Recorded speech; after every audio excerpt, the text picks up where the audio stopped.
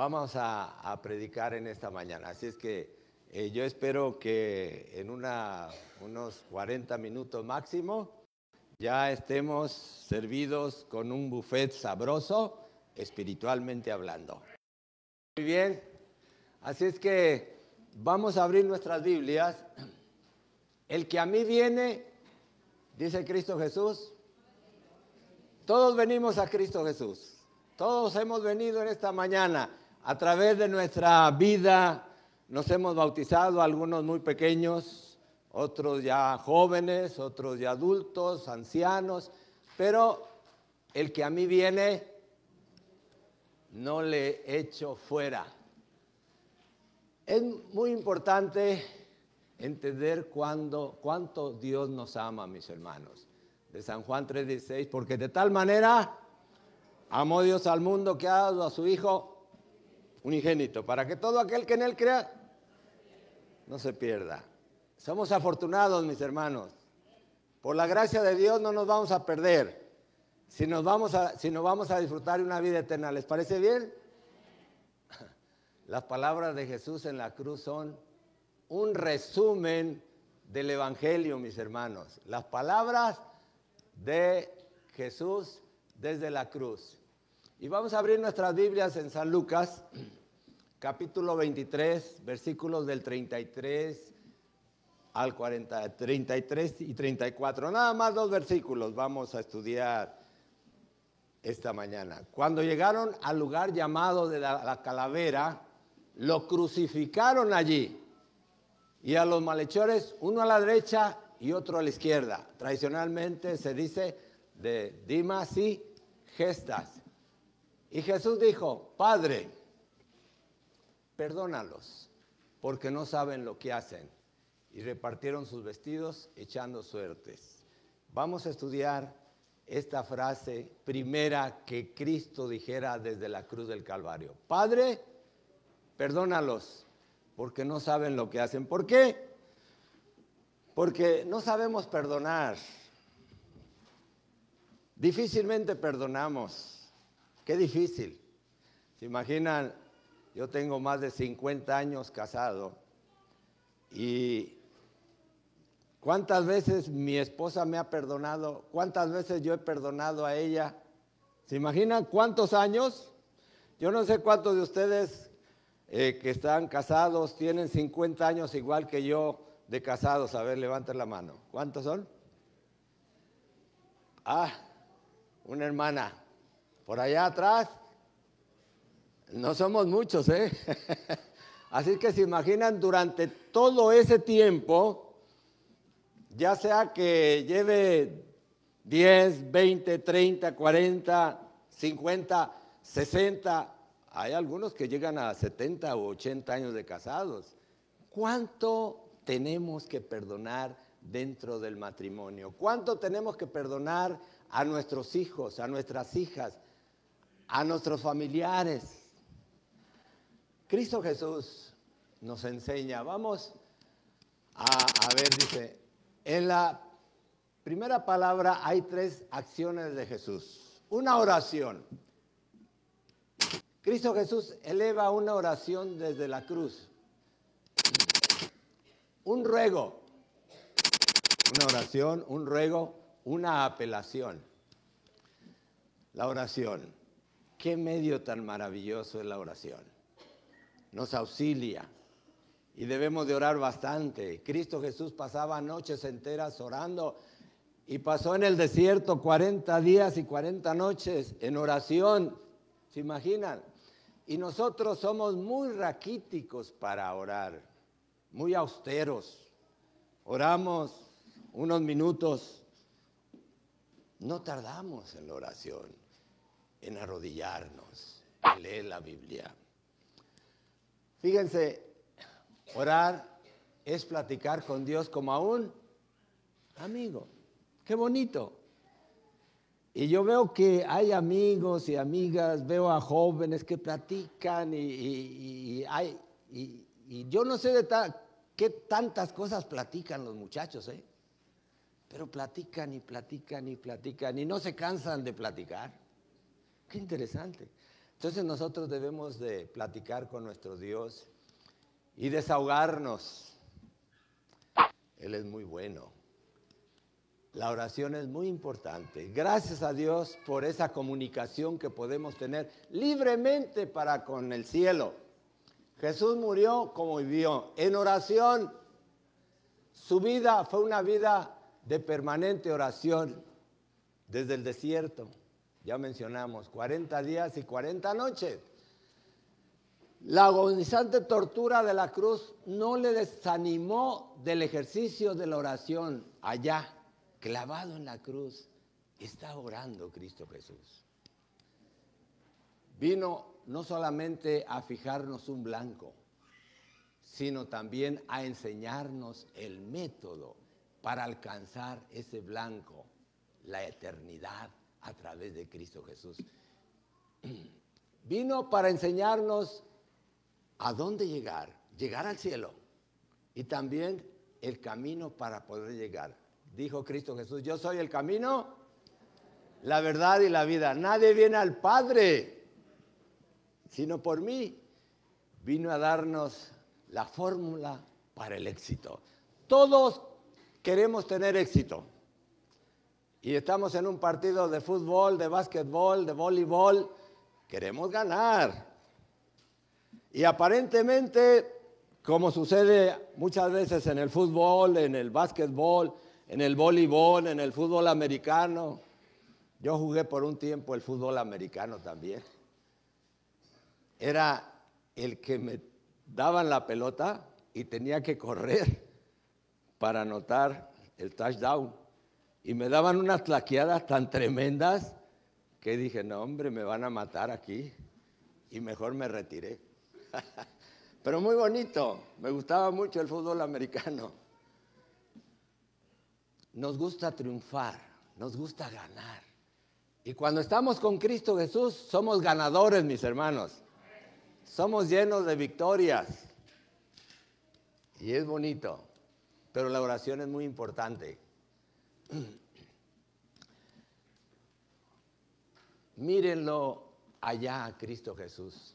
Sus manos están clavadas. Ya no puede extenderlas al necesitado pero puede orar. Sus pies están clavados, ya no puede correr a buscar al pecador, pero puede orar. Ya no puede enseñar a sus discípulos, pero puede orar. Qué maravilloso Cristo Jesús desde la cruz del Calvario. Puede llegar el momento en que ya no podamos hacer las grandes cosas que, podamos, que podíamos hacer cuando jóvenes, pero podemos todavía Ahora, yo recuerdo, me dijo el pastor, estaba dando conferencias en la ciudad de Pachuca, Hidalgo, me dijo, vamos a tres horas, pastor, está un hombre que tiene 105 años y no se ha querido bautizar.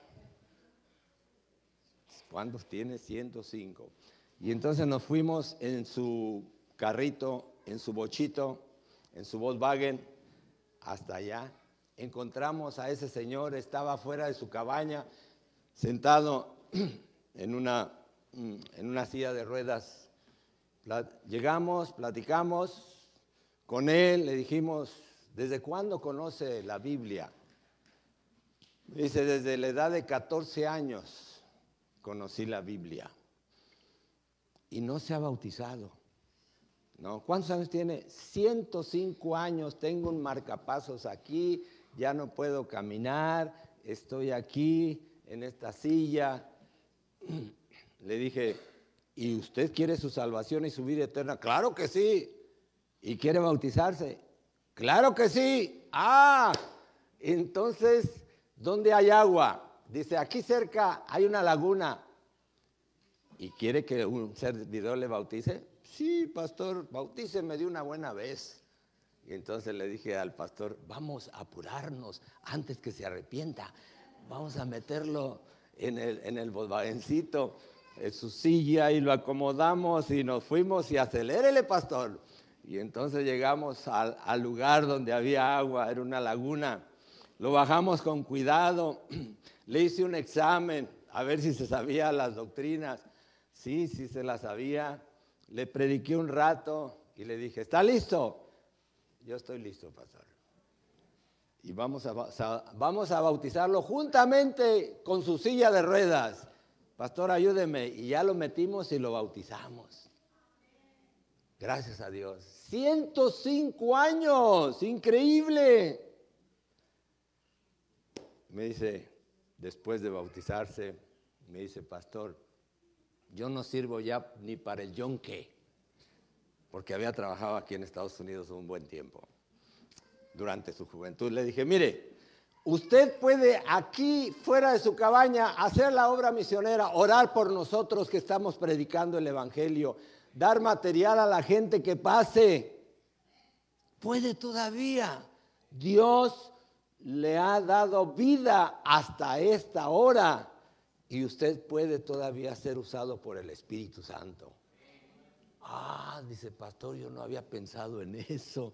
Pues todavía, no sé cuánto vaya a vivir, pero Dios le presta la vida, así es que adelante. Qué maravilloso. ¿Cómo? Esta tarde, Dios mediante, a partir de las 4 de la tarde, estaré en el Centro de Rehabilitación para Drogadictos bautizando de 50 a 60 jóvenes, es drogadictos, que han estudiado a través de tres meses o cuatro la doctrina y que les he hecho un llamado para entregar su vida a Cristo Jesús y están listos para entregar su vida a Cristo Jesús, para el perdón de sus faltas. ¡Qué maravilloso! Son milagros, son milagros celestiales. Y la oración es muy importante.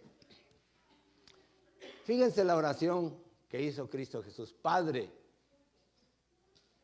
la primera palabra, es una palabra dulce, saturada de ternura, confianza y seguridad. Nos podemos acercar al trono de la gracia para encontrar el oportuno socorro. Maravilloso.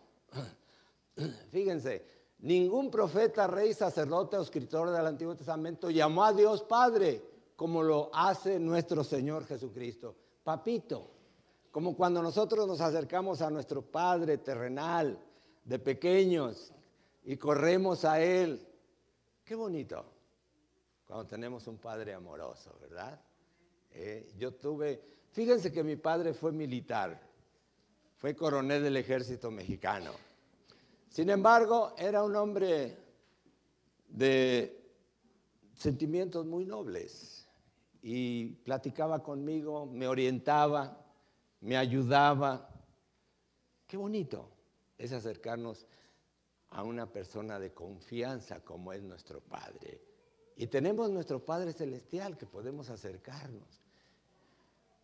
Cristo Jesús dice, Él hace un reclamo de su deidad de su filiación y de su procedencia. De él aprendemos que tenemos acceso al Padre Celestial. Qué bonito. El cual nos oye en el calvario de nuestras miserias. Nos oye en el calvario de nuestras miserias, vergüenzas y tragedias. Qué tremendo. Hay veces se acerca los muchachos y me dicen, oiga, pastor, pero yo secuestré, yo maté, yo robé jóvenes de 18, 20 años. Pastor, ¿será posible que Dios me perdone? Claro que sí. Es un Padre amoroso, misericordioso, bondadoso. Gracias a Dios, lo encontraste. Alabado sea el cielo. Porque hay millones de jóvenes, de muchachas, de muchachos extraviados que andan descontrolados y no encuentran el camino, la verdad y la vida y tú lo has encontrado. Debes de agradecer a Dios. Estás libre, estás perdonado, porque Dios es maravilloso. ¿Eh? Vamos al ruego, fíjense. ¿Cómo orarías tú si estuvieras clavado en la cruz? en la cruz del Calvario. Y tus enemigos te estuvieran escupiendo el rostro y te colocasen una corona de espinas y se burlasen de ti. ¿Cómo, cómo actuaríamos? Si se nos atraviesa un carro y echamos chispas. ¿eh? ¿Cómo orarías si te caes de un edificio de 20 pisos porque alguien te empujó? ¿Mm? Alguien te empuja 20 pisos. ¿Cuál sería tu oración? Cristo Jesús dijo que hay que orar y hay que perdonar a nuestros enemigos. No a nuestros amigos, no a nuestra esposa o el esposo, o al hermano o la hermana, no, a nuestros enemigos. Tremendo. Fíjense cómo Jesús no oró por sus amigos, ni tampoco por sus parientes, ni siquiera por los maravillosos cristianos. Él oró por sus enemigos, le estaba clavando en la cruz. Vamos al perdón. La vida de Jesús y la vida cristiana no es imposición de deberes, no. Dios no actúa así. Dios nos ha dado el libre albedrío. Podemos hacer de nuestra vida lo que queramos.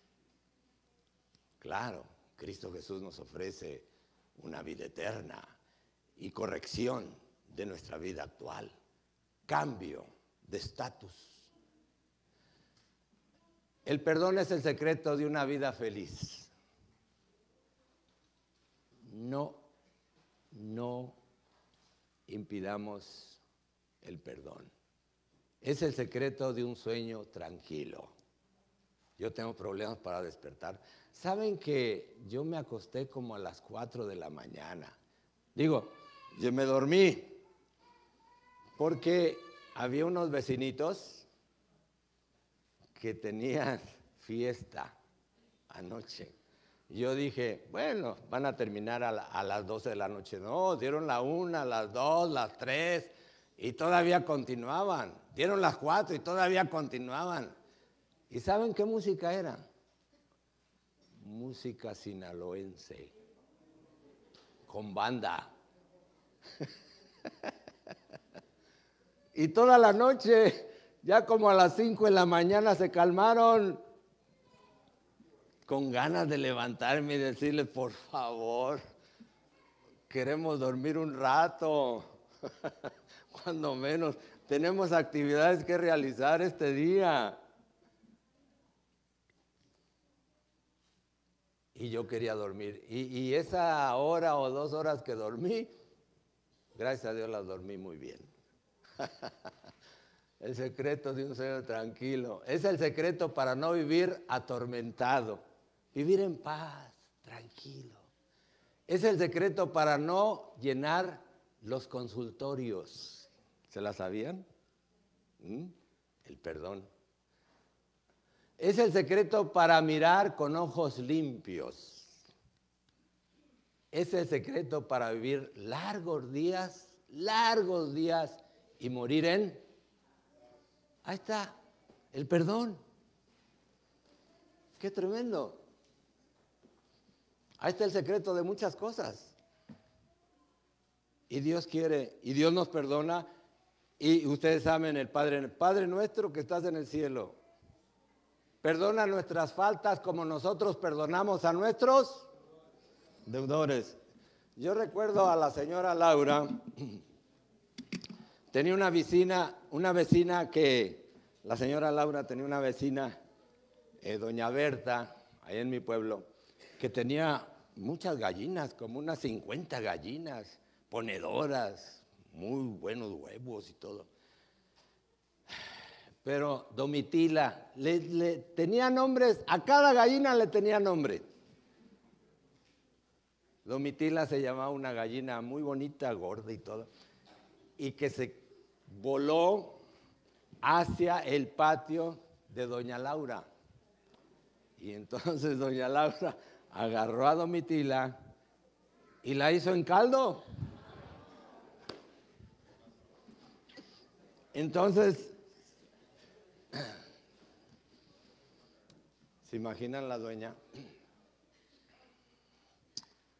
Y pues la dueña dijo, ¿dónde está Domitila? La buscó y entonces la vecina le dijo, oiga señora, mire, sucede que Domitila se pasó a mi patio y yo la agarré y la hice en caldo, pero le voy a pagar, no hay problema, estaba muy rico. Entonces le, voy a pagar, nada más dígame cuánto y yo le pago. Entonces la señora dijo, nunca la voy a perdonar. ¿Pero por qué? Es que Domitila era una de mis gallinas preferidas. Y entonces la señora dueña de la gallina pues se enfermó, se la llevaron al hospital, yo creo que de los corajes que hizo.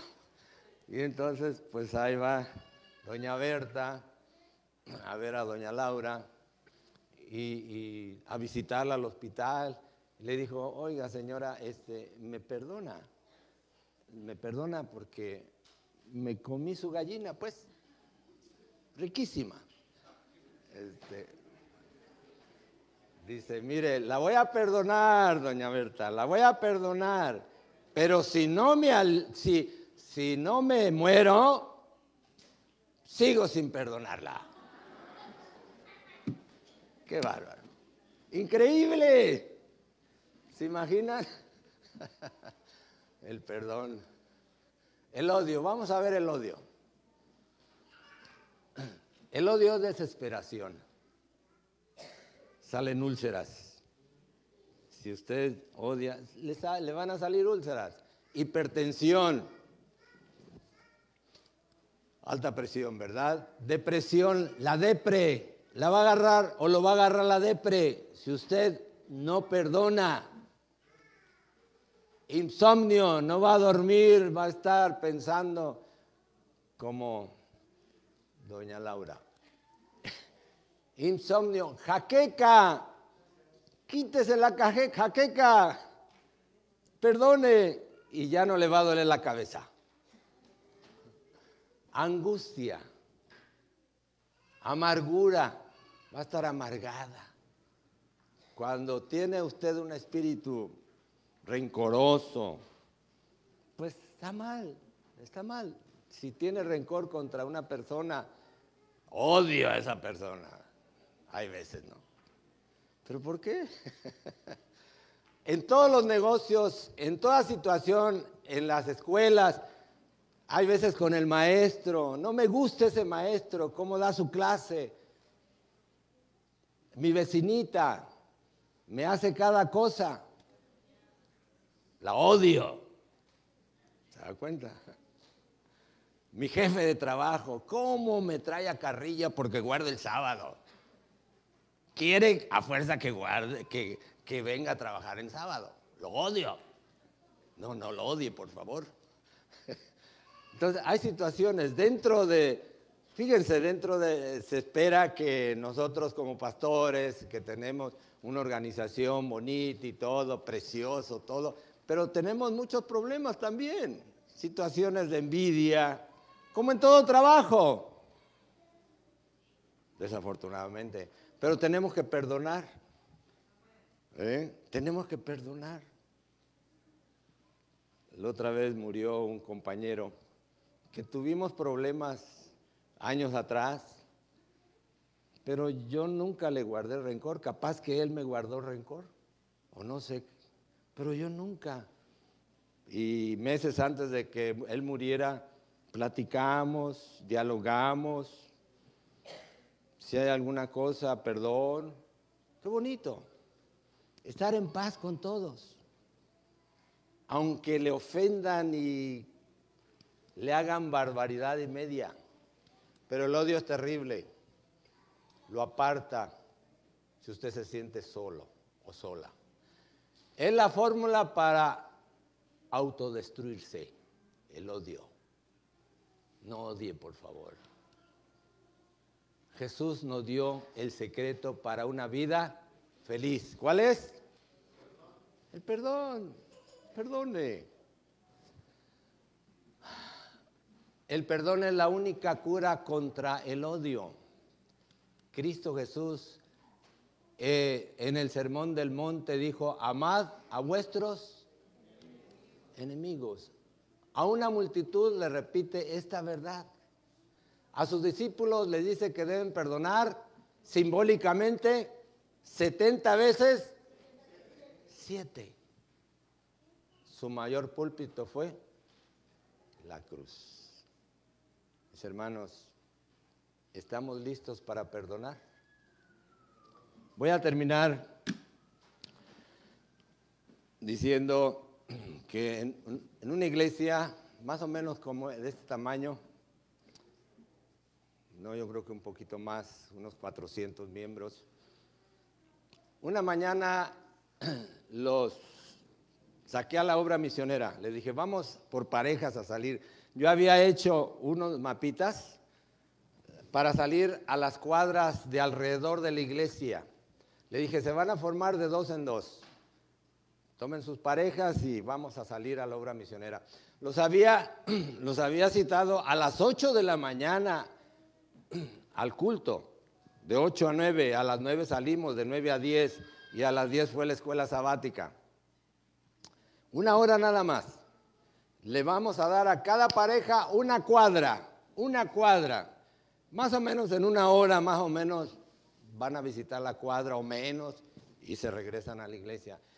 Y dos niños más o menos de unos nueve, diez años, varios niños joven, se formaron también a la obra misionera.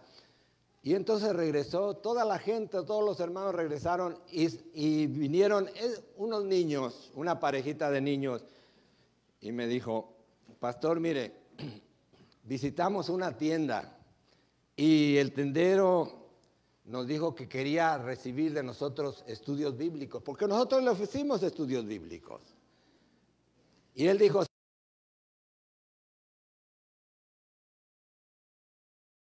pero nosotros a esa hora estamos en la escuela.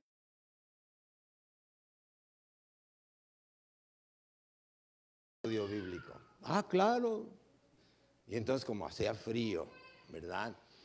Yo traía esa mañana un suéter aquí este, con cuello ruso y iba de negro.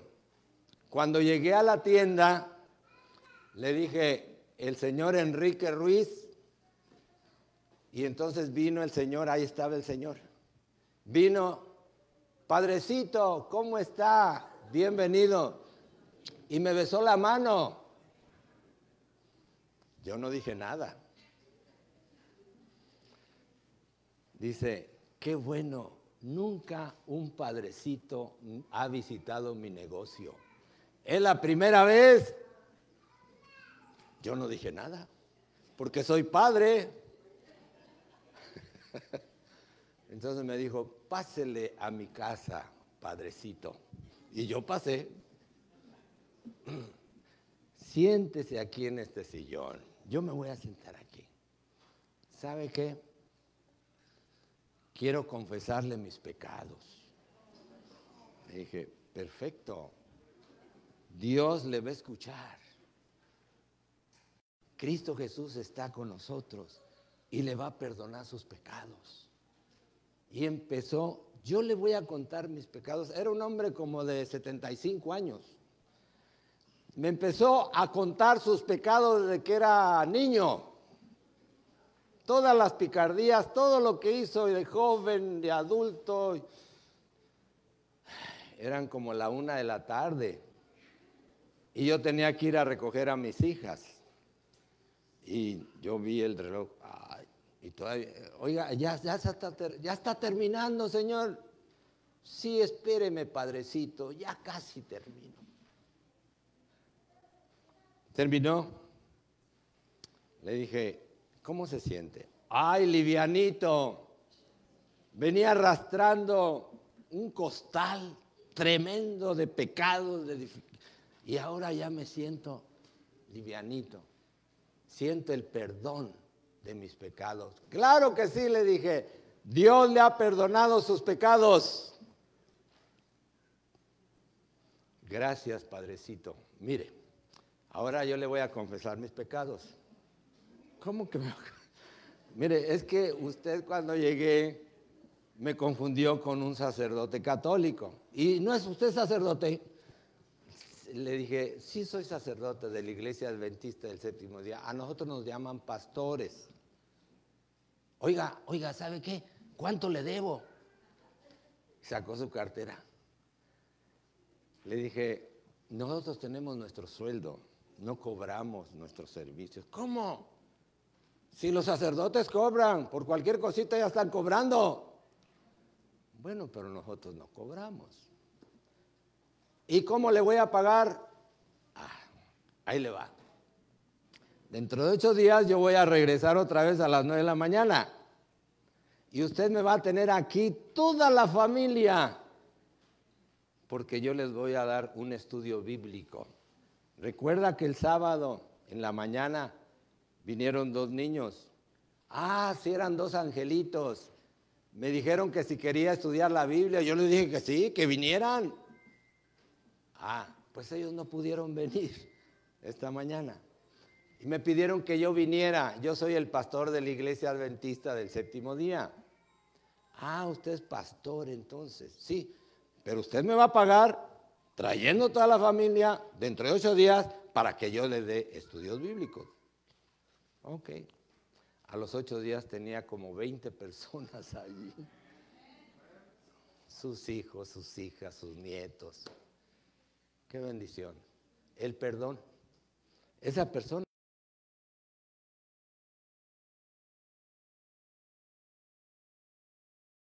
Difíciles.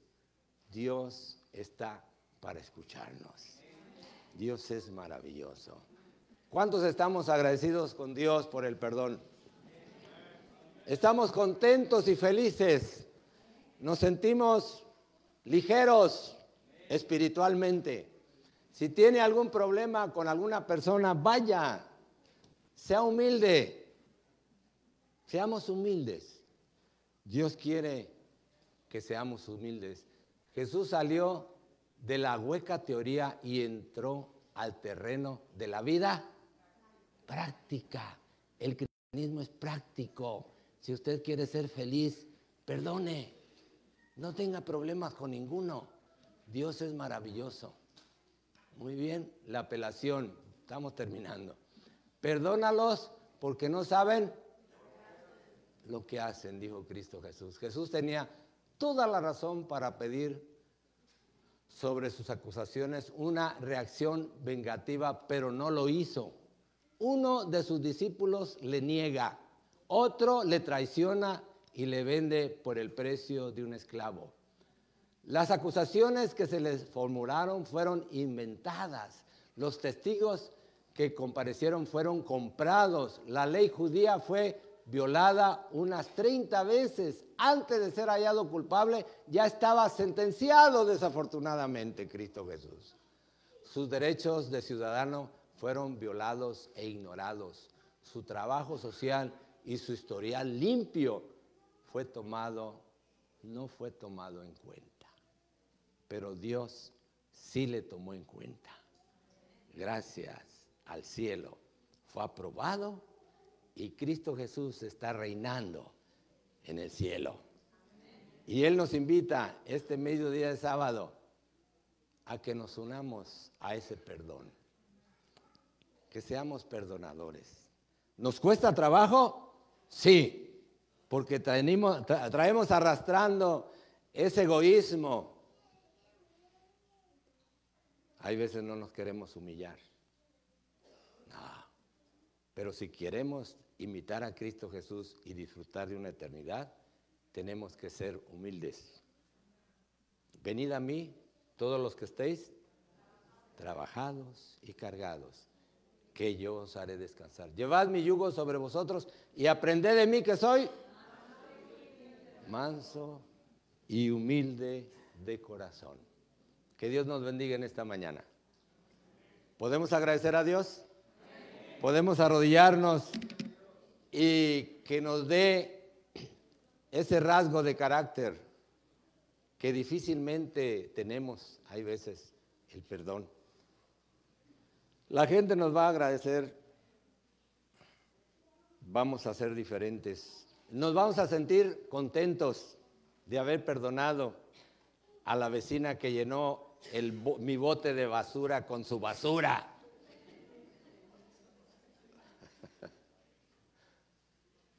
Nos va a reconocer. ¿eh? Que oiga, se me ponchó la llanta, ¿me presta su aparatito para inflar la llanta? Claro que sí, ahí está. ¿Eh? Nos damos cuenta. Que la batería me falló, ¿me presta sus cables? Claro que sí, ahí están los cables, nuevecitos, yo no los he estrenado, mire, aprovechelos. Uno se siente contento, feliz por servir, ¿eh? ¿verdad? Aunque usted lo estén ofendiendo. Vamos a arrodillarnos para agradecer a Dios por el perdón. Que nos ayude a desarrollar un carácter perdonador, como el de Dios, como el de Cristo Jesús.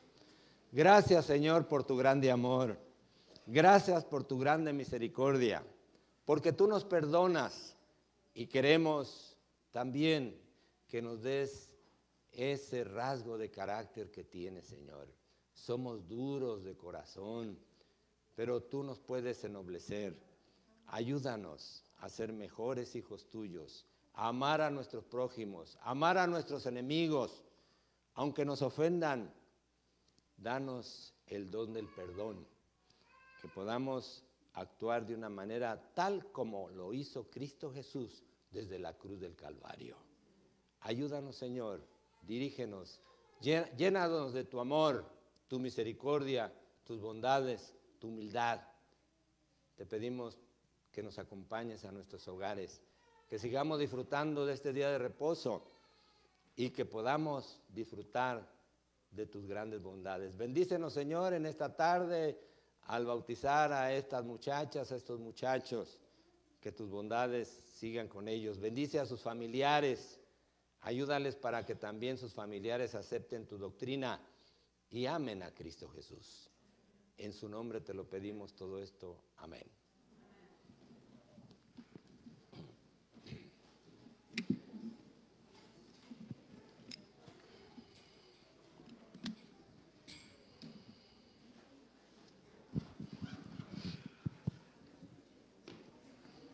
Vamos a cantar. Para finalizar, vamos a ponernos de pie y vamos a cantar el himno 100. 209.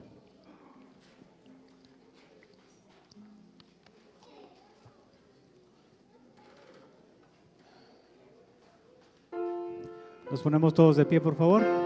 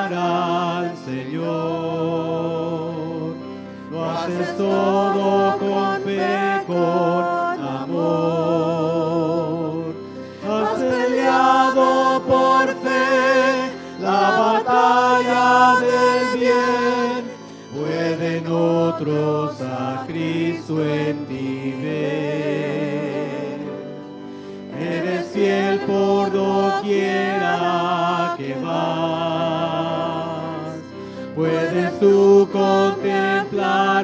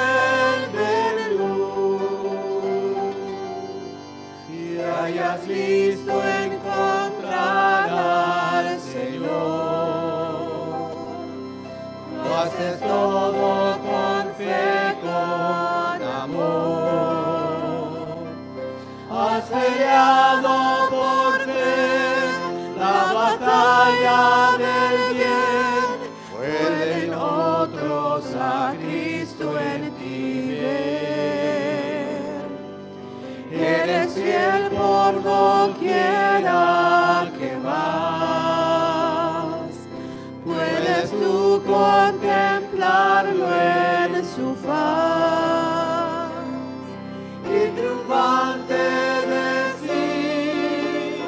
Este es mi Dios, tú tú encontrar al Señor. Amén. Amén. Nuestro Padre y nuestro Dios ten misericordia de nosotros, perdona nuestras faltas, ayúdanos a perdonar a nuestros prójimos. Que tu bendición sea con cada uno de nosotros. En el nombre de Cristo Jesús lo suplicamos. Amén. Amén. Feliz tarde a todos. Bendiciones. Los diáconos darán la salida.